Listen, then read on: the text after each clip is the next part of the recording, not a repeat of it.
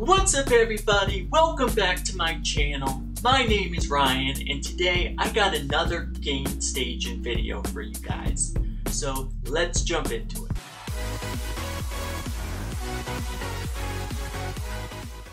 Okay guys, so here we are in Logic Pro X.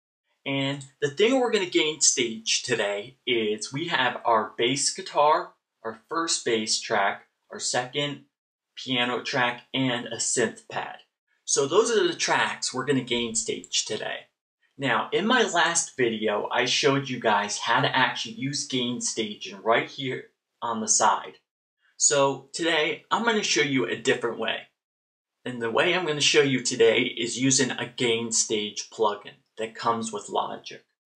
So what we're going to do is we are going to come over here to audio tracks and what we're going to do is find our gain plugin. So it's under utilities. So go to utilities and then go over to gain. Now this is our gain plugin.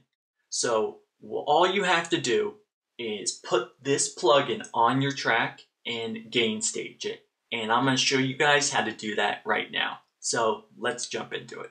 Okay guys, so the first thing you want to do now that you have your gain staging plugin open is you have your knob here.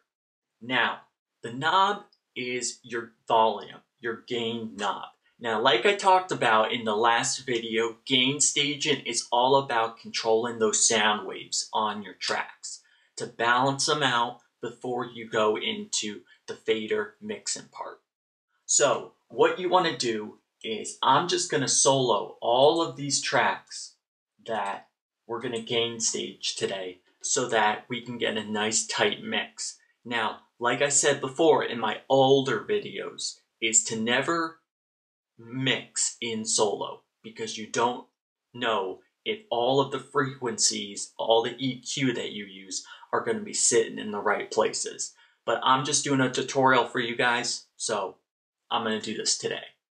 So we have our gain plugin here. I'm to play the track and I'm to start gain staging and then I'll show you and explain to you what I did.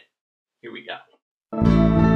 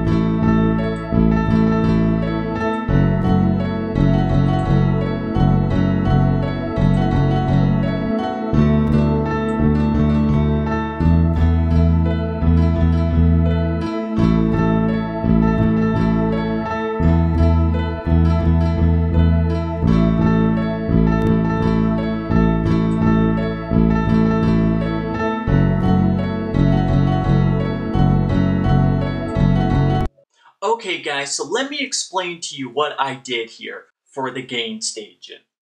Pretty much what I did is on our bass guitar here, I took our gain plugin here and I turned it up about 4 dB. Now, turning it up to about 4 dB, the key to gain staging a bass guitar is that you want to balance it out to the kick drum so that the bass guitar and the kick drum have a nice tight locked in texture. So you want to make sure that the kick drum and the bass guitar are hidden at the same time so that the kick drum pushes that bass note out. So that so with gain staging, you're pretty much what you're doing is you're allowing the kick drum to push that note out, bass note out, so that you can take gain staging and balance the two together.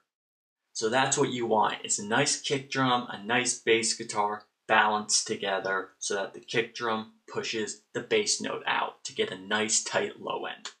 That is that's exactly what you want. So now what we have is our piano track. Now, our piano track here, what I did is I boosted it about 4 dB, and then what I did is I balanced it out about 6, so that all the sound waves in that piano track are nice and balanced. Then what I did is I moved to my synth pad, and the thing about a synth pad is the synth pad is a texture piece in the background of the mix. So it's just literally filling in those gaps so that your mix is nice and solid, fat, and there's no empty gaps that you don't have to worry about. What I did is I turned it down to about 8 dB, negative 8 dB. Now, the reason I turned it down is because it's a texture piece. Texture pieces aren't above the mix they're below. They sit behind everything so they fill out the mix. Then I balanced it about 4.5 dB.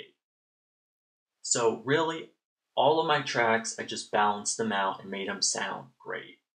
And guys, before we end the video today, I have a quick announcement for you guys. Coming up, I have some looper pedal videos coming up. I just ordered a new looper pedal for all my instruments, so make sure you have subscribe on and make sure you have post notifications on. And if you enjoyed this video today, hit that like button because I have tons of cool videos coming up for you guys. An unboxing video and all kinds of recorded videos. So make sure you subscribe and have post notifications on so that you don't miss a thing.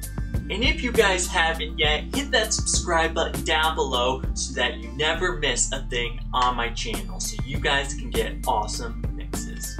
Alright guys, thank you so much for watching and thank you so much for all the support. You guys are amazing, keep making great music, and I hope you learned a lot about using the gain plugin inside of Logic to control those sound waves. Thank you for watching, keep making great music, and I'll see you guys in the video. See you guys then.